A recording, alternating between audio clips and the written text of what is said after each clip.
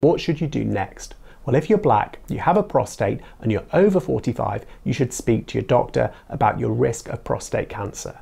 I'd also strongly recommend that you speak to them about having a prostate specific antigen or PSA test, which is a blood test that can help to diagnose prostate cancer.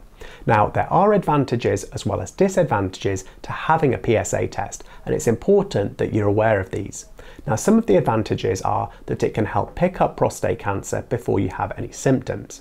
It can also potentially help to pick up a fast growing cancer at an early stage when treatment could stop it from spreading and causing problems. Now the PSA test can also be done at intervals to check for any changes. However, it does have some disadvantages. For example, your PSA level might be raised even if you don't have prostate cancer.